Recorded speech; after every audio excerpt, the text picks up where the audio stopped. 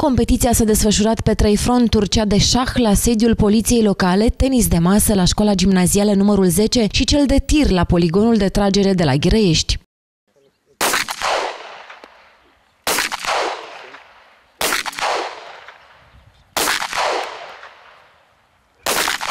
Este adevărat, participarea a fost una nu foarte numeroasă, având în vedere și uh, diversele misiuni pe care Poliția Locală le are de îndeplinit în localitățile lor de reședință.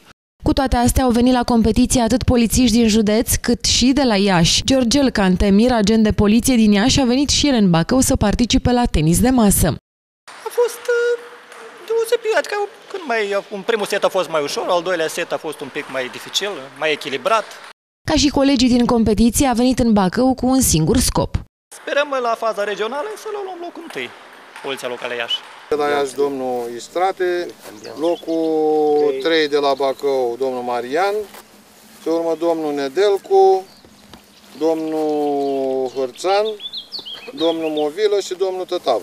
Sperăm ca uh, acest concurs să ne unească și să ne aducă uh, la masa tratativelor și să ne uh, dezvolte spiritul competițional, astfel încât uh, prin aceste întreceri să dovedim societății și comunităților în care ne desfășurăm activitatea că suntem un corp de elită și că se poate avea încredere în munca de polițist local. Premiile au fost simbolice, fondul acestora fiind de numai 1000 de lei.